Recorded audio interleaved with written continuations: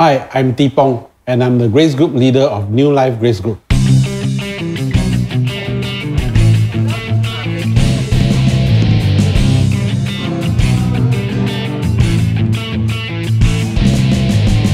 As a Grace Group in the community, we involve ourselves once a month in the Lengkok Bahru outreach on Saturdays and serve the residents there.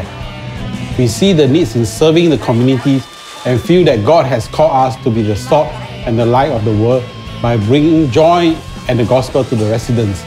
Our Grace Group spend a lot of time together. Officially, we meet twice a week, Tuesday for prayer meetings and Friday for GG meetings. We meet so often that the GG is like a family. Everybody knows each other so well.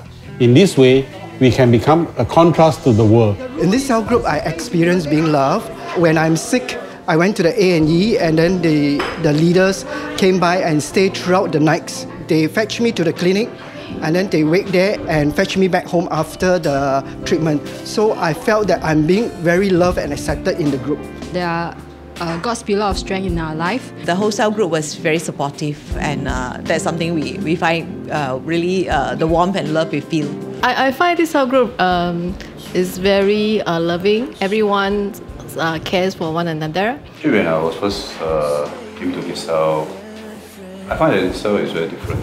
At that time, I feel the warmth, the closeness. They were often praying for us, interceding for us, and walking alongside with us, which I, for this kind of love that we could not find from outside in a secular.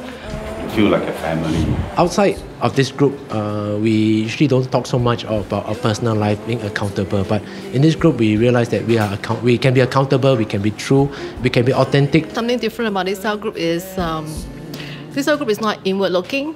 Um, our cell leaders uh, constantly encourage us to to serve, you know, in ministry. Uh, in this grace group, uh, there's a strict no alcohol uh, rule, uh, but we get to uh, have fun and uh, a spirit-filled time. I feel that as a Grace Group and part of the larger Grace community, we are called to be the salt and the light of the world. When people see us, they have to see the difference in the way we relate to each other, in the way we treat each other, and in the way we help one another. We are called to be a city on a hill so that a com- the community can see Christ through us.